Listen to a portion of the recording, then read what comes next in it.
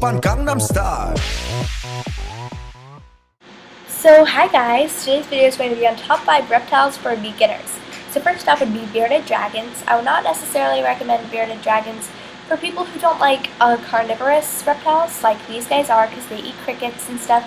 And I personally am the kind who doesn't like having crickets in her house.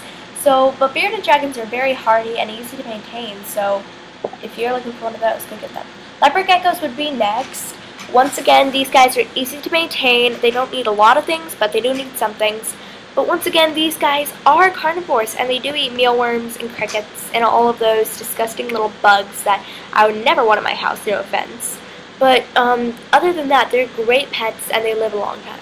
So if you're a more of a vegetarian type reptile person, I recommend getting a tortoise, um, Greek or a Russian tortoise to be specific because these two are great starter tortoises because they don't need a lot of work. I call them high and low tortoises because they can adjust to whatever.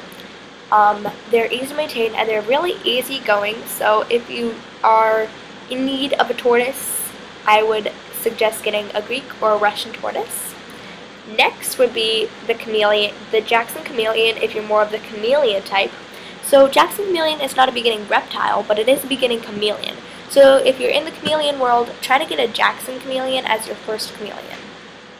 So yeah, those are the top 5 reptiles. Hope you enjoyed. See you soon with the Maybe Aquarium vlog.